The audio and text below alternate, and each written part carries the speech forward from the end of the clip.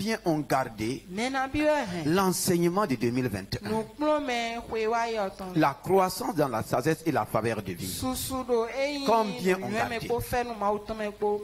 Qu'est-ce que tu retiens de ces enseignements Si Dieu chaque année se donne de nous enseigner, nabolo utilise ses serviteurs, utilise les moyens pour nous enseigner, et chaque année nous oublions ces enseignements. Comment nous pouvons croître? Oublier les enseignements, c'est vomir.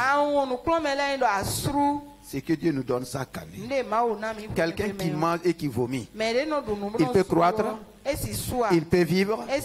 Voici pourquoi il dit, mon peuple est détruit. Mon peuple est dépouillé. Parce que nous oublions régulièrement les enseignements qui nous donnent. Et c'est notre réalité.